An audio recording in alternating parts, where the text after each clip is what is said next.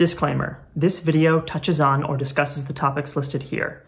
If you find any of these distressing, I would suggest you stop watching now. Hey y'all, David here, welcome back. I've got something rather unusual to share with all of you today. This story is a lot. I'm going to try and cover as much of it as I can, but God knows I won't be able to. But before we get started, I want to just give you all a heads up. This isn't some like petty yet interesting bit of internet drama which we can all learn about and laugh about. This is a very fascinating piece of internet history and I want to acknowledge that, but it is also an extremely messed up one. It's a story that spans nearly a decade of time, multiple fandoms, it's about conventions, cults, conspiracy theories, and above all, the amount of harm just a single person can do the people he surrounds himself with. This is the story of Andy Blake, a liar, a manipulator, and above all, one of the most abusive people in fandom history. Part 1 The Cult of Bag End. Our journey begins in 2001 with The Lord of the Rings and its fandom. The Peter Jackson movies had just been released, so interest in Tolkien and Middle Earth and all of that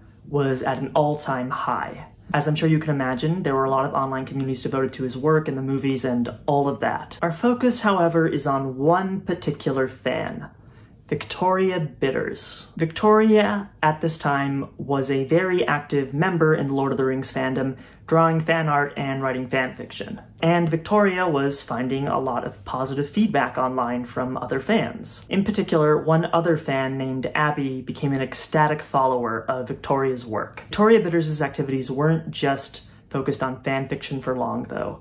Eventually, they created a Yahoo group titled Bit of Earth. Bit of Earth was a fan group devoted specifically to Samwise Gamgee and Samwise Gamgee specifically. And it was super popular. So popular, in fact, it became a website into its own right at some point or another. Abby naturally followed Victoria to this website, and the two began communicating more frequently and began to become friends. So, a bit of context here. You may be wondering, why am I talking about someone named Victoria Bitters? So, Victoria Bitters is the subject of our video. The person we're talking about today is a trans man. Obviously, his actions don't reflect what most trans people are like, to say the least. I hope I don't have to make that clear. Victoria Bitters was just his pseudonym, which he was using at the time, and after checking with a few trans friends of mine, general consensus was that it was fine to use it since it wasn't his actual dead name. So with that in mind, moving forward, a few months into their friendship, Victoria revealed something to Abby, something he'd been kinda hinting at for a while leading up to this point. Victoria claimed that he had the ability to channel, and not just to channel ghosts or spirits or whatever, no. Victoria claimed that he could channel the Lord of the Rings actors. So Abby has written at length about this point in her life, and we can get a better understanding of why she was so open to an idea like this. She was, at this point, a recovering Christian. She had a lot of religious trauma from her teen years, and she was practicing paganism, but it really wasn't doing much for her. Long story short, she was vulnerable and there was an emotional need in her life which was not being filled at that time. To quote from one of her blog posts, this tepid paganism got me through until I had real problems in my life. I was spiraling into some pretty catastrophic depression. My marriage was empty and unsatisfying. My job as a receptionist was isolating and unchallenging, and I was very lonely socially now that my best friend had moved out. I still had a few local friends, but I was just not doing well. I should have gone to a therapist, but instead I got online to fill the hours. With this in mind, I'm not totally surprised that Abby was open to a lot of the stuff that Victoria was sharing with her, and the discussions between the two would oftentimes last late into the night. And I can imagine that staying up super late would tire someone out and might make them more open to some slightly more out there ideas. It's also worth noting at this point that Abby wrote about how when she was writing fanfiction, she sometimes felt like she was channeling the characters. I can only assume that that belief was encouraged by Victoria as well. You know, it, it, wouldn't surprise me in the slightest. Things started to get even weirder at this point. Victoria Bitters began to talk about not just channeling actors, but the characters. In particular, he talked about how he could channel Samwise Gamgee quite frequently. These claims would then escalate to become even bolder than that. My master, that is to say, Sam,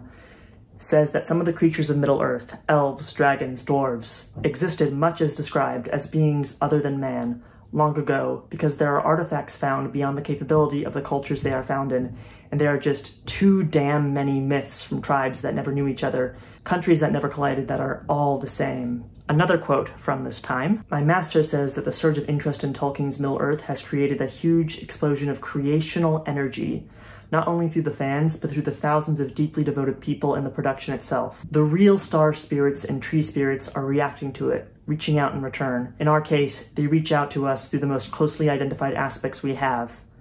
Hobbits. I'm a little unclear on the beliefs here, I have to be honest, but to the best of my understanding, Victoria would claim that Tol Victoria would claim that Tolkien was enlightened to write the books about Middle-earth, much like prophets in the past were enlightened to write their own holy texts. A lot of like the mythos he himself created was just Victoria renaming already existing deities and just kind of slapping a Lord of the Rings paint onto it, that sort of thing. And Abby wasn't the only one who was getting sucked into this. No, not at all. Several others were getting entrapped in this belief system as well, all being told similar stories about Victoria and their ability to channel. Abby's relationship with her husband continued to struggle as her relationship with Victoria continued to grow. It culminated in a trip where Abby flew out to Victoria, who channeled for Abby in person. Victoria on this trip would introduce the concept of others, which was the name that he gave to the people who he supposedly channeled during these sessions. Eventually, Victoria moved in with Abby and her husband, another blow to their marriage, which would very soon dissolve after this, and then visits to other members of their little group began to follow. On one such visit to a group member named Little Sam, Abby has described seeing what at the time she thought was a miracle. Victoria making a river run backwards. One of the nights we were there, we went for a late night walk. We walked to a small curve in the river. It was very dark and the moon was very bright, and we were getting a big secret about our destiny from an elf, from Lord Elrond to be precise. It was a demonstration to prove to little Sam that she was beloved by Ulmo, the Valar who was in charge of water, and I think we just willed ourselves to see the ripples moving backwards. It's not that hard to do. It's a fairly basic optical illusion. And then it wasn't just long distance visits.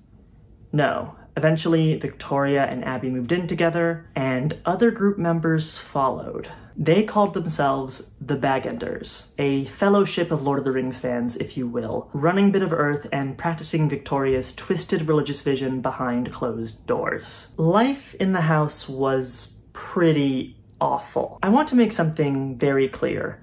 As strange as the beliefs here are, Victoria Bitters was a monster, plain and simple. To put it simply, once they were all under the same roof, it was a lot easier for Victoria to manipulate them, to essentially brainwash them. He never worked, he constantly mooched off of everyone else in the house, he had a habit of playing members against one another, lying to them. He had a habit of using the others that he channeled to further manipulate them. Eventually, everyone else in the house began to live in fear of him and the people he channeled. Soon after they all moved in together, Victoria posted to their live journal saying that they were going to be taking a step back from fandom, which was not true, by the way. They'd already started operating on Bit of Earth under a new account with a male name, and around this point in real life, something very notable happened as well. Victoria revealed something to the group. He claimed that Victoria Bitters' soul had left his body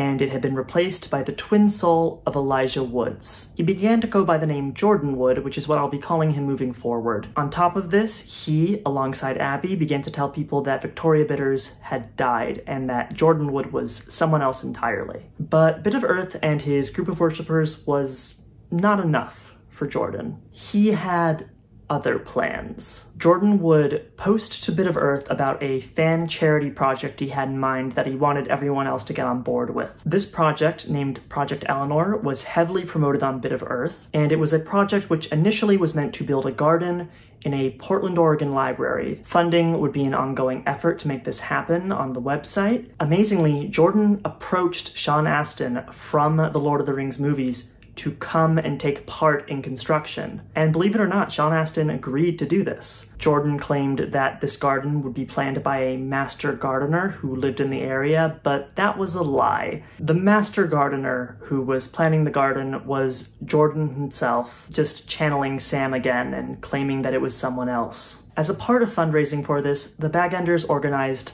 the Lime Party. The Lime Party was a screening event. They showed the animated Hobbit and the animated Lord of the Rings. There was raffles, there was karaoke. Interestingly enough, at this event, Jordan and Abby appeared dressed as hobbits. They had Jordan's hair glued to their feet, and that's not all. They also claimed that the hair that was glued to their feet was from a friend who had recently died presumably because the hair was Jordan's, they were talking about Victoria Bitters. Wow, just wow. So this is the Regal Cinema at the Lloyd Center. This is where the line Party took place. It's the weekend and there are some people inside. I just turned around after filming that and there was a woman walking right behind me. She must have heard all that. and more people are coming, but it's weird to think that, gotta move away from the traffic, that Jordan could have stood right where I'm standing right now. He and Abby and all the other members of the fellowship and whoever else attended the Lime Party were here. That happened here. Just kind of crazy, you know?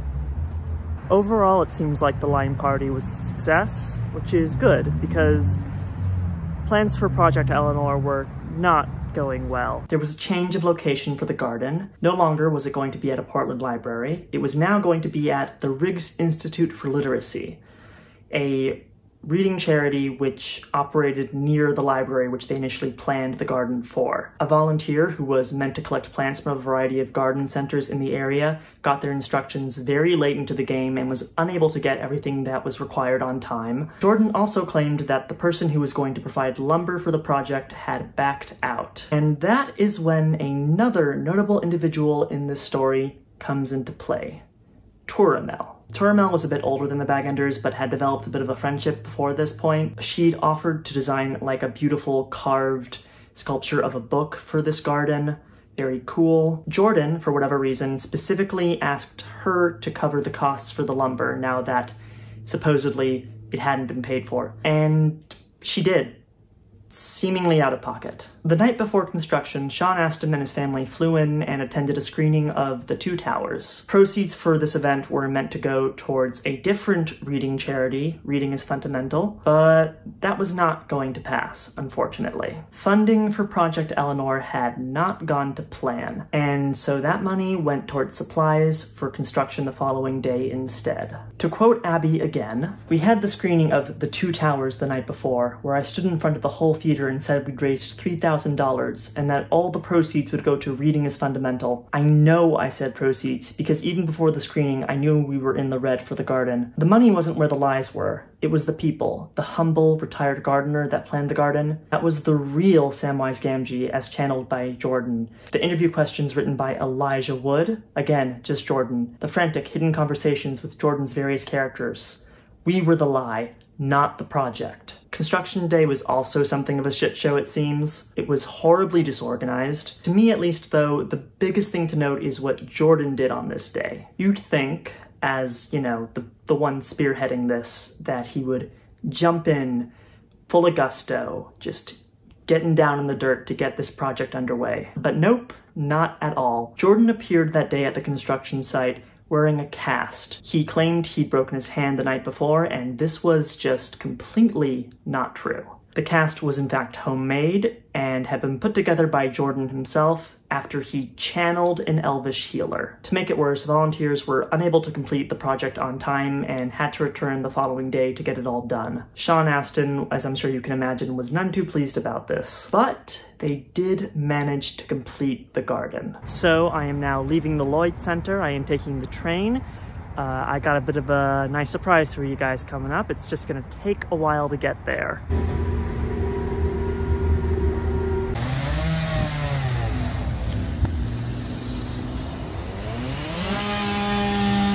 Fortunately, because there were gardeners working in the garden, I wasn't able to talk during any of that. Yeah, it looks like it's still there. I didn't see any kind of like carved stone book or anything like that from the little glance I got, but that was it. That was the garden that they built. It, it's still there. I imagine it's changed quite a bit over the years. I don't quite know what it looked like before Project Eleanor went underway, but that's where that reading charity was based. It's now a Catholic bookstore. It's just kind of crazy that Jordan and Abby and everyone else just were there, you know? They were there, they helped build that. Project Eleanor may have been a mess behind the scenes, but it had been well received by the fandom as a whole, and as such, the fact that it had gone poorly was not enough to stop Jordan. Soon after this, Tentmoot 2003 was announced. This was going to be a full-on Lord of the Rings convention, and things got a whole lot worse. Hey, editing David here. I filmed the next section of this on a different day at a friend's house, and I just kind of wanted to apologize for the lens flares you see on the camera. The flares disappear after about 10 minutes. This won't happen again. I hope it's not too distracting. Just really sorry about that. The fellowship at this point decided to move to LA, but the convention was still going to be held in Oregon, which seems like a logistical nightmare to me, but Honestly, I doubt this would have gone any better if they had in fact stayed in Portland. So, full disclosure, this is where the timeline gets kind of messy, and real life got in the way of me being able to do a really thorough deep dive on this like I wanted to, but I can give you the rundown to the best of my ability. Tentmoot on paper sounded relatively straightforward. It was a Lord of the Rings fan convention with a lot of people involved in the films flying into Oregon to do meet and greets and sign photos and probably do panels or whatever. Each individual member of Bit of Earth had their own job in organizing, but all you need to know is that money for Tentmoot was tight and nothing went according to plan during any of this. Jordan emailed Air New Zealand asking for free airfares for actors, claiming that Bit of Earth was a non-profit, which it wasn't. He also claimed that proceeds from Tentmoot would go to Reading is Fundamental. This fact would come to bite them in the ass later. I have to be honest, I don't understand Jordan's thinking here at all. I don't know why an airline would just do that and provide free airfare like that. I think Jordan just assumed they'd roll over because it was a charity and be a good cause or whatever. In any case, it fell through, and Jordan informed Abby of this when things were coming down to the wire with the deadline for them leaving to Oregon just days away. Other aspects of planning were already going poorly as well. Ticket sales had been struggling. Jordan's solution to this was to rope Toromel into helping at this point, spinning a story about how New Zealand had become such a popular tourist destination because of the movies that Air New Zealand was no longer able to donate the tickets that were needed. This is a very simplified version of what went down, but he essentially pressured Toromel into spending thousands of dollars to cover airfare. But they still needed more money to pay for stuff, and as such, Jordan pressured Abby into calling basically everyone they knew asking for help, something she did not want to do and which I don't blame her for. That sounds horrifying. I am embarrassed on her behalf. To quote Abby again, I am sorry that my memories of that afternoon and the next day are not clear, because that doesn't help things. I do remember that he stopped me at some point, smiling victoriously. He told me Janine, that's Toromel, had volunteered her own card and paid for $1,500 in airfare. It wouldn't get everyone there, and guess who got to handle canceling people's appearances? That was also not fun at all, but it would allow the convention to happen. I was horrified. I could not believe that Janine had done that. One of the few things I do remember was begging Jordan to stop her from charging it herself. I had a seriously bad gut feeling about the whole thing, but again, my concerns were irrelevant to him. Everything was going along fine now, according to Jordan. We had become friendly with our neighbors, and because our apartment was a crazed mess of packing and preparations, I went next door to take a nap before that long drive. The neighbors had left earlier in the week. Suffice to say, tensions were running high, and unbeknownst to the Baggenders and many of the volunteers who were going to provide their time, Jordan had been lying about so much more than that. There was no way in hell this convention was going to happen, and it seems like he knew that in the next day or two his deception was going to be revealed, because that night, Abby was awoken by a panicked Diamond and Little Sam. Jordan had locked himself in the bathroom and had taken a lot of pills. They'd pried the door open with a screwdriver. That was when I got there. And there on the floor was Jordan, apparently unconscious, next to a pool of vomit that was mostly made up of pills. There was a note. It said that Janine had canceled the airline tickets. Tentmoot had fallen apart, and he was sorry. Someone had already called 911. I was beyond destroyed. Jordan wasn't actually in any serious danger. Nothing in the bathroom could have seriously hurt him. The pills he took just made him extremely sick. but it did mean that he got to avoid consequences for his actions. At this point, Toromel was emailing basically everyone involved in this convention, interrogating them, and word had spread to volunteers and ticket holders. With Jordan in the hospital, it was down to the rest of the group to deal with the fallout. Once it became clear that airfares weren't being paid for, Abby did try and contact guests to implore them to not come, but not everyone got the message in time. Abby would very quickly receive a call the next day. So a bit of context here, the plan was for actors to fly into LAX and then to fly out to Portland from there. But unfortunately, because of the flights that Toromel canceled, Three actors from the film, Jed Brophy, Paul Randall, and Brian Sergent, made it to LA and their Portland flights were canceled. They were the only three who did not get the message that there was going to be no convention. They were just kind of stranded there in Los Angeles. Keep in mind, the flight from New Zealand to Los Angeles is probably really long. Imagine getting off of that extremely exhausting flight only to find out that your flight is canceled and there, there's nowhere for you to go. Brian Sergent had family who lived in LA, so he ended up staying with them, but for whatever reason, the other two did not go with him. With the actors unable to pay for a hotel and the bag unable to pay for accommodation themselves, they had no choice but to take them in back to their apartment. And if that wasn't humiliating enough, when they got back to that apartment, they discovered something. By this point, Jordan had gotten out of the hospital, and I guess he had quite a bit of time to himself while the rest of them were at the airport. In addition to this, somewhere along the way leading up to this, during the planning for Tentmoot, a member had left the group on bad terms. Before the actors arrived, Jordan trashed one of the apartment's bedrooms, pissing all over the bed and making it completely unusable, and he then claimed that that former member was responsible. I can only imagine the smell. This also meant that the bag enders had to sleep on the floor, giving the actors their beds. Just awful, just awful all around. This weekend sounds like it was the worst social gathering ever. Members took the two of them sightseeing and eventually they left. But just because they'd gotten through that weekend does not mean they were in the clear. The fandom had gotten word of what had happened, and to put it mildly, they were none too pleased. To make matters worse, Toromel was furious about being charged for the flights and was still emailing them, insisting on being paid, and was continuing to interrogate basically anyone involved about what was going on with Tentmoot. In attempting to organize this convention, Jordan built a convoluted house of cards, and they were all falling down around him, and Toromel was picking through its remains. I don't blame Toromel for being angry. She was made to pay thousands of dollars in airfare, but her behavior after this point is frankly heinous. She threatened to go to some members' workplaces to stalk them if she wasn't going to get paid ASAP, gleefully stalked them for years afterwards and talked about them openly online. And it made it a lot harder for Abby, and I imagine a lot of the others as well, to leave because she was constantly vilifying them to the community and the fandom and the internet as a whole. Yes, they did lie to help Jordan, but that was because they felt pressured to do so. Even after Toromel discovered that Jordan was running a cult out of his apartment, she basically blamed all of them. She would also go on to write a, a book about this experience titled When the Fan Hits the Shit. I do have the book here. I did buy it for research purposes. I really struggled to get through this. Supposedly some of the information in here is inaccurate, but that's not my main problem. My problem with the book is that it's just got this really nasty tone. It's like gleefully malicious about its subject matters, especially about the fact that Jordan is trans, like that's somehow a literal representation or reflection of his deceptions. It uses his real legal dead name throughout, and it's just unpleasant. I understand that Toromel was seriously financially hurt by the lies here, and she has every right to be angry and to tell other people about what happened. The book just feels vindictive and gross, and I, I, hate it. I read what little I needed to to get the information about the convention, and then I didn't read anymore. Toromel's choices here are just awful. Like, she emailed Jordan's parents to get more information about him, just, just awful stuff overall. And then she just bragged about all this terrible stuff she did in the book. Do I think Tentmoot was an intentional scam?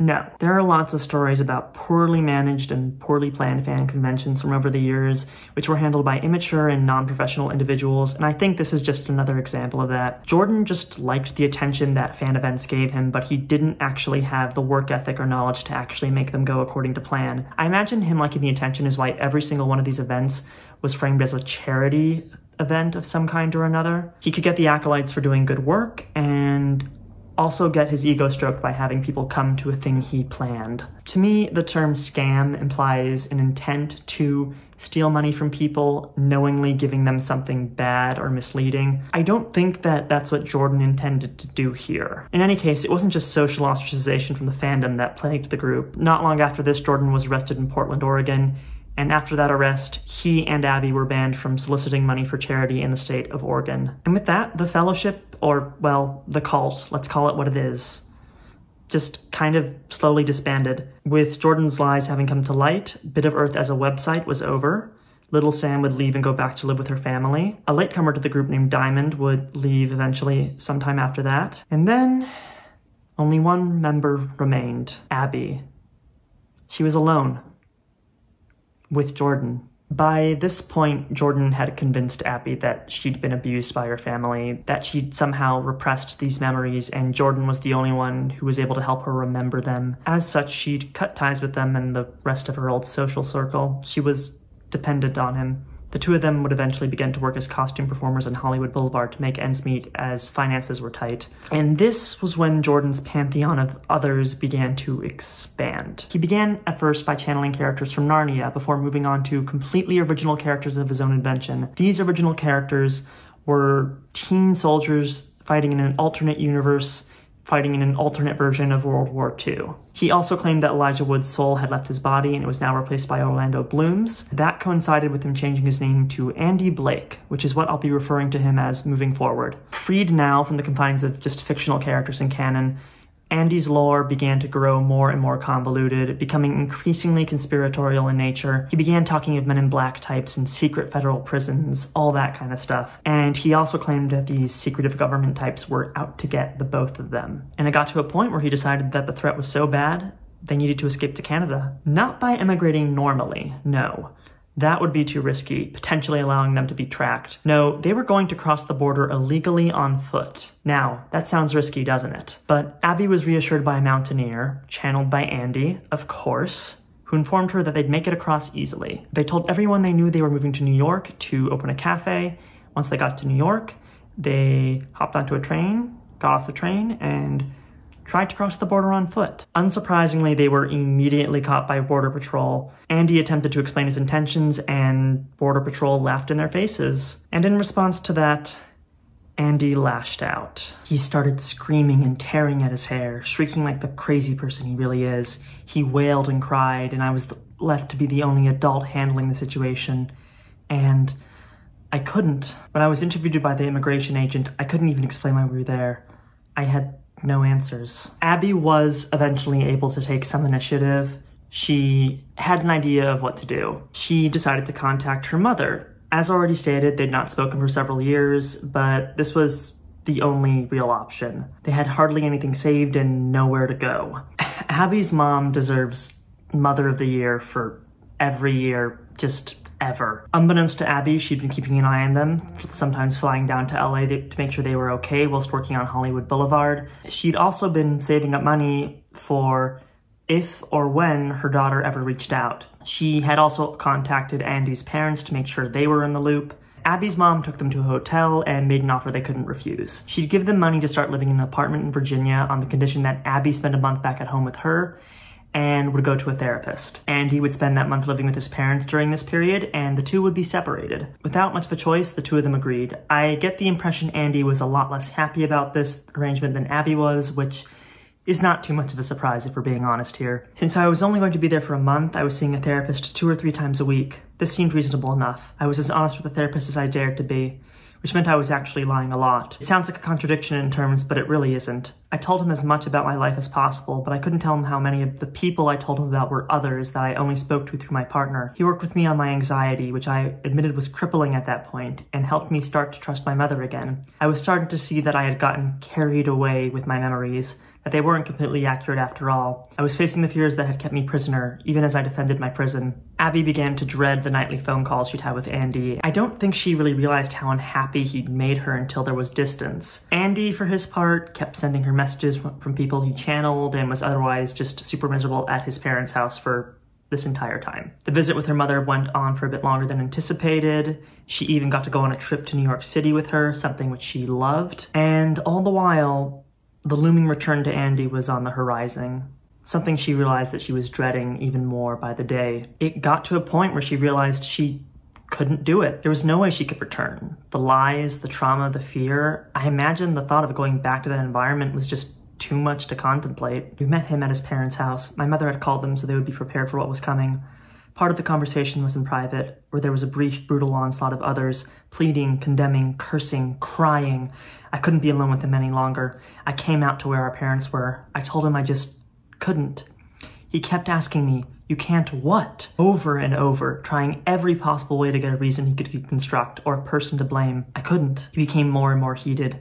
I remember all our parents moving as one, his to stand on either side of him as my mother took my arm. I needed her to help me walk away. I could not turn from his pleading eyes. She guided me to the car as Jordan began to scream, that same hideous, chilling, keening wail that he terrorized all of us with in the cult, now no longer the howl of some supernatural anguish, but that of a thwarted and monstrous child. I got into the car and mom drove us the hell away from there. And thus, the first cult Andy ever built, and Abbey's time with him, came to an end. So much has been written about this. It is one of the most infamous stories ever and it just feels unreal. But I do feel like the focus is often on what a disaster Tentmoot was and not everything surrounding that. Andy didn't just try to organize a convention that went poorly, he did so much more and basically all of it was a lot worse than that. Tentmoot is just the thing that had the most public fallout in its aftermath. Andy would remain offline for quite some time. He lived with his parents for a bit, and while he'd been caught, that isn't where our story ends. Andy Blake would resurface in an entirely different fandom under a brand new username. Part 2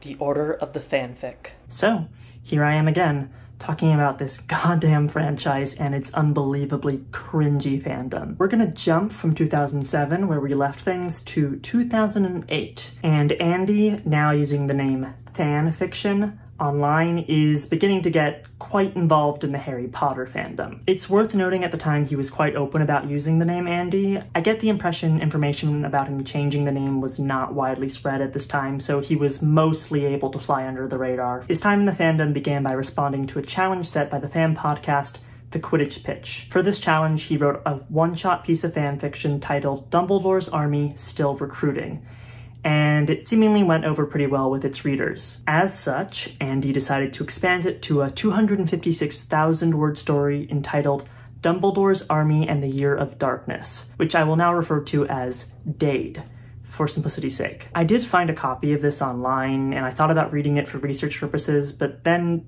I decided that I love myself too much for that there wasn't really a good reason to read it in full besides morbid curiosity. To give a brief rundown of what it's about, it's set during the events of Book 7 when Neville is leading his own version of Dumbledore's army and rebelling against the abusive and fascistic staff who have taken over Hogwarts. Abbey has stated that the alternate universe with the teen soldiers Andy was channeling towards the end of her time with him are definitely the inspiration for this. There's apparently a lot of parallels between all that nonsense and what happens in the fic. Again, it was quite popular. I read a bit of it. I didn't read all of it. I just read a few pages and it it was well written. It wasn't groundbreaking, but it was it was all right. The story soon got two sequels, one titled Sluag and another one titled A.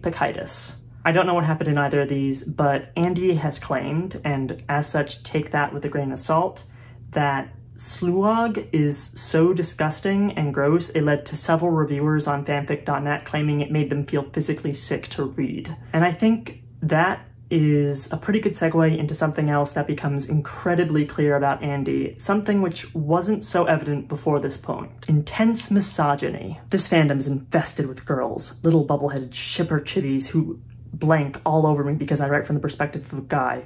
As a guy, I've been told that my guys are blunt, aggressive, hot-tempered, that my fics are unnecessarily violent, that my guys aren't sensitive enough about their feelings, and the feelings of the girls they deal with. Um, well, I hate to break it to you, Hannah Montana, but guys are like that, and moreover, war is like that.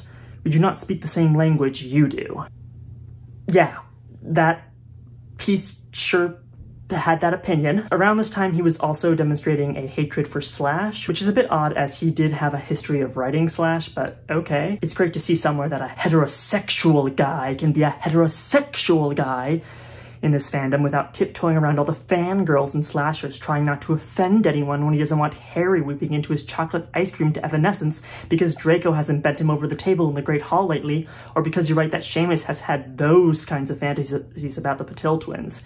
And so has any other red-blooded 17-year-old boy. That last quote was posted to the um, Dark Lord Potter forum, incidentally, and there's no important reason why you need to know that. It's just, wow, what a name. His arrogance and compulsive lying is also well on display at this point. There were a lot of overlapping and contradicting claims he was making on different fan sites and forums and things. But despite this, he was developing a fan base. With his developing fan base, he began to implement the strategy he used before. With people looking up to him as a very talented writer, he decided to host a two-week writing seminar online. As a part of this, he informed the participants not to eat for three days and to only drink water. What do you do if you want to brainwash someone? You tire them out in one way or another. You break down their barriers so the person will be more susceptible to whatever nonsense you present to them. This is very similar to what he did with Abbey, where he tried to keep her up for very late at night and then would later take her on really long hikes to tire her out. There are multiple examples of him doing this, and I believe this is calculated. He knew he could manipulate people if they were hungry and tired. Andy would eventually create a live journal community specifically focused on DAYD. Yes, it was in fact popular enough to warrant an entire LJ community unto itself. It also has its own AO3 tag, but there's not a lot on there at the moment. With a community he himself was moderating, with very little connection to the rest of the fandom, Andy was able to get really gross. So there's a Google Doc you can find quite easily online with a timeline of all of Andy's activities and posts and things. It was extremely useful in researching this video. I am just going to quote verbatim from it to show you what I mean when I say gross. I will not link to it or give a specific date, but at one point on the community, in the midst of a lot of DAYD audiobook casting posts, Andy asks 14 to 28 year old Dadians to post their pictures. He then tells each of them how much they look like this or that DAYD character and tells some of the women that they are hot. So, we're just going to move on. I don't need to dwell on this. I don't think I need to comment on that. It speaks for itself. Andy would soon begin assigning specific titles to certain followers, things like First Lieutenant or Chief, House Lieutenant, very much sticking to the military theme of his fan fiction, I imagine. And then he began to introduce channeling. Once again, very slowly. He would tell people to speak to characters through him, of course. He'd eventually talk about how real these characters were to him, and how when a character suffered, he'd physically feel it. All this nonsense. Yes, I know it's mental. Have I ever said I'm otherwise? Kind of explains the intimate relationship I have with them, and why the most common refrain from readers is that they are eerily, unnaturally real. They are real to me, whatever that says about my sanity. Honestly, I've sometimes wondered if I'm hooking into past lives or ghosts on some psychic plane, and my conscious brain can only interpret it by plugging into a pre-existing matrix of a fantasy world. So again, kind of doing the breadcrumbs, dropping hints here and there, claiming that spirits are on the astral plane that he's channeling through fan fiction, all that nonsense. History is repeating itself, essentially. And it would begin to do so in other ways as well. Andy would soon claim that he had a terminal heart condition and that he maybe didn't have a lot of time to live. Playing that up for pity points, he attempted more than once to have his fans pay for trips to go out and visit them. Some of these plans were successful, some of them were not. In any case, he began visiting his followers in person and presumably, I imagine, probably channeled his characters for them then as well. But not every trip went according to plan. Sometimes he would just claim that something came up or that plans fell through and then he would just keep the money that was raised. And then, because I guess he just couldn't help himself, and he decided that his fan base was big enough to warrant another convention. Yes, really. So the idea was batted around ages ago on my LJ, but the Dadeverse fandom was way smaller then, and I'm tossing it out again now that it's increased so much. Anyone interested in the idea of a Dadeverse minicon? Just copy pasting from the old entries. The Dadeverse has picked up a surprisingly large and devoted following, and I was thinking that it might be fun to have something of a mini-con where we could talk to other people who have gotten deep with this little corner of the Harry Potter fandom and exchange our creativity and learn from one another. If at least five people want to do this, I'll set up a dedicated post where people can sort out ride-sharing, roommates, finding hostels, etc.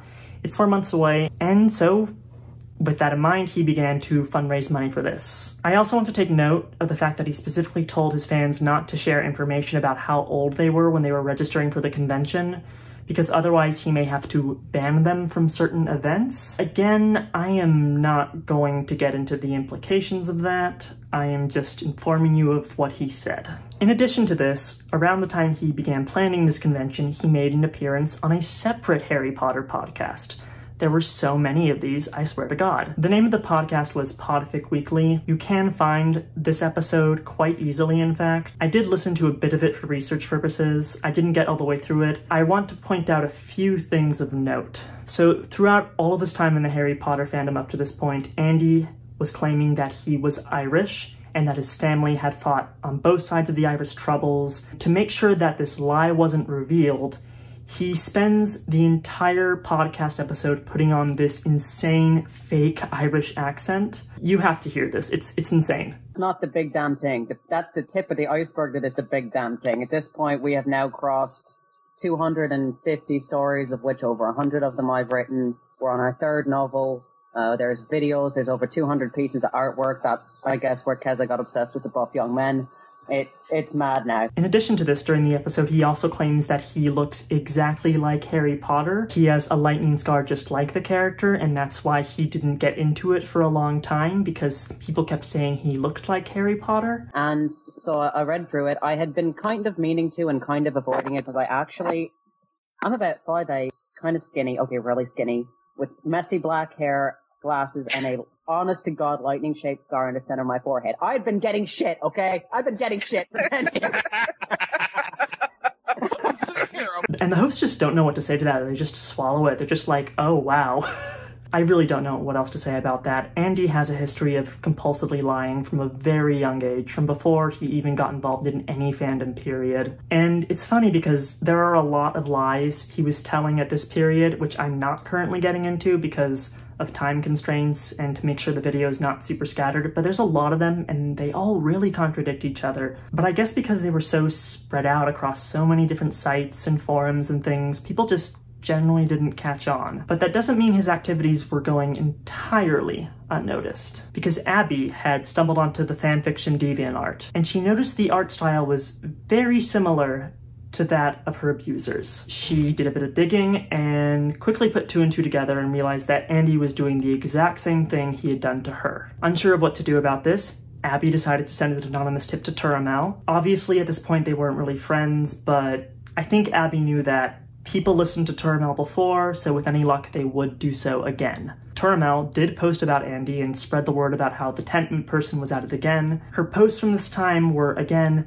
very transphobic, which is one reason why I'm not getting into them. The other reason, though, is that it doesn't seem like anyone actually listened. It didn't help. The community weathered what I can only assume was a lot of hate and scrutiny from the rest of the fandom, and perhaps in a weird way that actually helped. An us versus them narrative can be really helpful if you're a cult leader. Telling followers that the outside world is against you is a great way for them to cling on to you as the one truth, you know, that kind of thing. Andy also had some pretty insane excuses and explanations for all of this, including claiming that the person responsible for things like Tentmoot was his evil twin.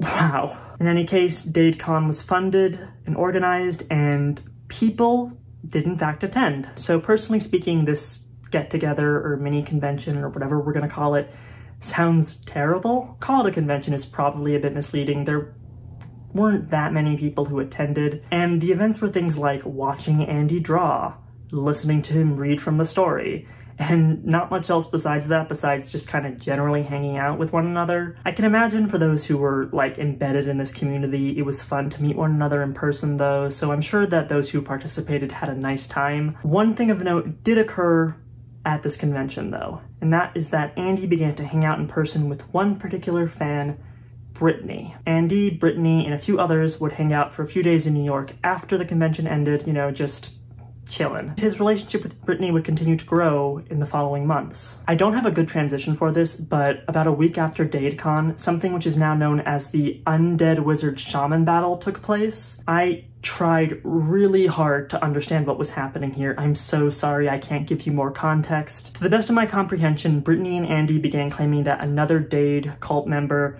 who was not online at the time, was under attack and that Andy was unable to protect him on like the psychic plane or whatever because his shields were down as he was so weakened from the convention. And I guess he was asking his followers to like give psychic energy to support this person or something. I really don't know what happened here. It's just nonsense. But I think it does demonstrate how in a relatively short period, many people had once again gotten sucked into his religious machinations. And isn't that sort of frightening? He was able to find people who were open to this sort of thing and was able to build yet another cult. In less than a year, I hasten to add. The fact that it was centered on Harry Potter fanfiction makes that worse in my mind.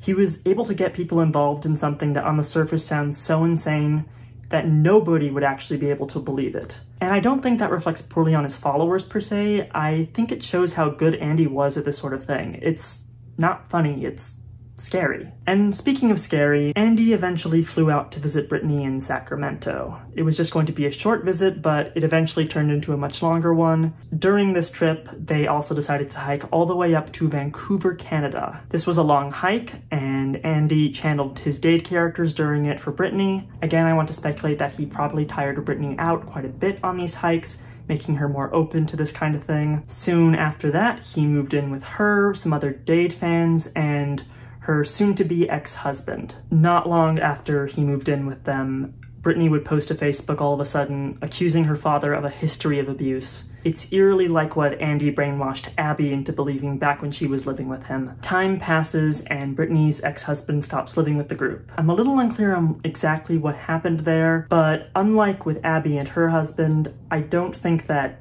Andy's involvement in things really did much to end that marriage. It seems like it was already pretty strained, but the truth is what happened next makes the details of that irrelevant. So there was shit, there was stuff I discovered in researching this that I just wasn't comfortable talking about as I wasn't sure how to do so delicately. Stuff where I'm not sure if it's my place to disclose it. But what happens next is one of several things Andy's done that makes me feel just plain physically sick. But I I, I can't ignore this. We, we have to talk about it. On May 9th, 2011, CBS Bay Area reported the following. A shooting at a home over the weekend that left three people dead, including the gunman, stemmed from a financial dispute between one of the victims and her estranged husband, according to police. Police identified the shooter as Jason Elsenberg, 27, and the victims as Anthony Chambers, 41, and Brittany Quinn, 27. Elsenberg lived at a home with Chambers, Quinn, and a 27-year-old man, according to police spokesman Officer Cleo Mayoral. Police believe Elsenberg shot Chambers and Quinn, then shot the 27-year-old man in the foot before shooting himself in the head. Andy was the 27-year-old man mentioned in the article. Brittany Quinn and Anthony Chambers were the cult members he was living with. I really don't want to dwell too much on this. Andy was not responsible for either of their deaths, and generally speaking, I'd not bring this up, but what Andy did in response to this is important. Andy would post a eulogy honoring Brittany, calling her one of the fallen, the name given to members of Dumbledore's army who have died in his story. No, I'm not kidding. He went ahead and connected this horrific and senseless tragedy to his Harry Potter fan fiction, and he did this more than once in the years following this. He also, in that initial post, spoke about how Brittany was super outdoorsy and that he wanted to organize a hike in her memory. So, bit of context. Before all of this, Andy was organizing another long hike with Brittany, in fact, and another DAYD member in addition to her. This hike was going to take place in New Zealand, and they'd been raising money to make it happen. But now, with this tragedy, it became a hike to commemorate her memory and to raise money for a domestic abuse charity. Andy would leave that house and would move in with two different cult members, E and K. E and K would be the new people he'd be doing this hike with. There are a lot of posts from this point which are just plain icky,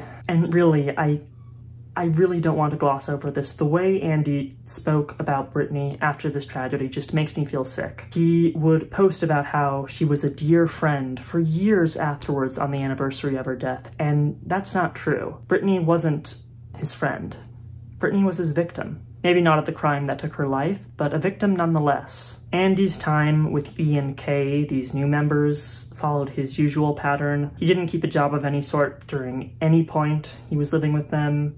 He constantly lied to them. I'm sure there were a lot of others he channeled to justify plenty of absurd and terrible things. Planning continued, there was a change of location for the hike. Plan was to now follow the Trail of Tears. Presumably this would be easier than flying out to another country. It was organized, and three of them left to begin their trek. And it was horrible.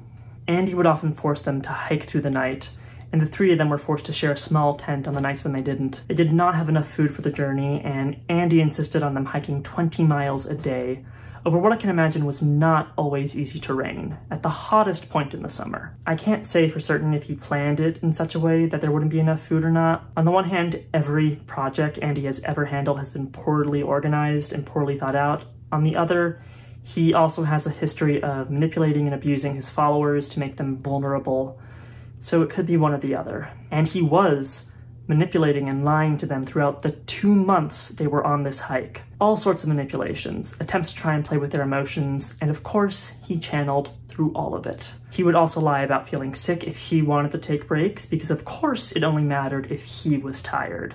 It didn't matter to him if E and K were exhausted or in pain, and they were in fact overexerting themselves. One of them ended up seriously damaging their feet due to the excess amount of walking on this trip. Andy refused to stop to get medical help for ages. He did, however, don't worry, channel a healer to provide some support at one point, because of course he fucking did.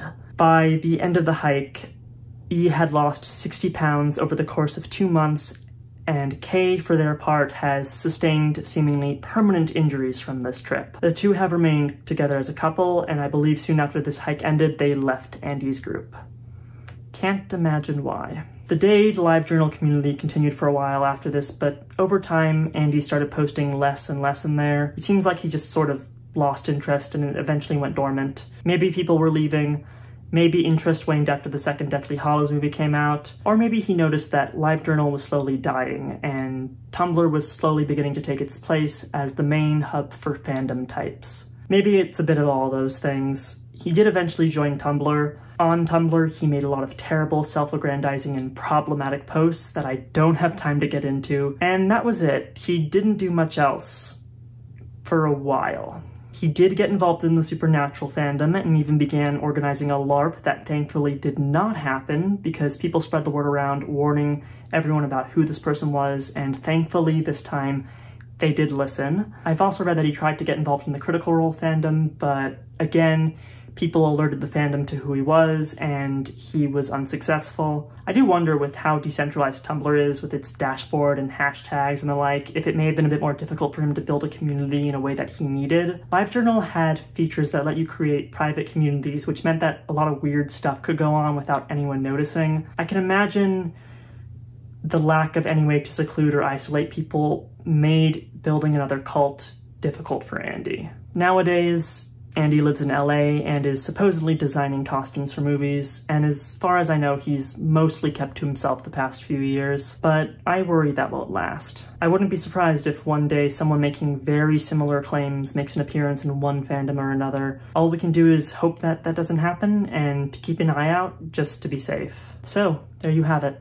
The Crimes of Andy Blake. This isn't even a comprehensive overview. There was a lot I had to leave out, and some of it was really bad. If any of his victims are watching, I hope you are healing. I hope you are in a better and happier place now.